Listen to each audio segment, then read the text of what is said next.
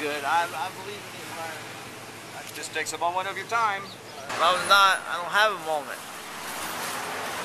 I just say I'm for whatever you're for. I just don't have time. Gelson's uh, is a little more upscale. No, no. Trader Joe's all hipster. Gelson's, I don't, I really don't know what the difference. I was looking forward to that steak tonight, man. Bummer. Gelson has really ridiculous prices too.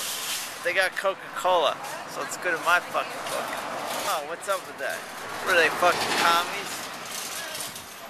Fucking bullshit. They're too good to have soda. Give me a break. It would do a lot more business, that's for sure. Too much of a snobs. They serve a little Coca-Cola. They don't even have like natural soda. Not thought I'd drink that shit. This place has Coca-Cola. There's no fucking doubt about it. I don't know, like Orangina or like some natural soda. Bullshit. People come here at Gelson's for like paper towels, toilet paper, shit like that. I come here for the deli. I get the turkey, but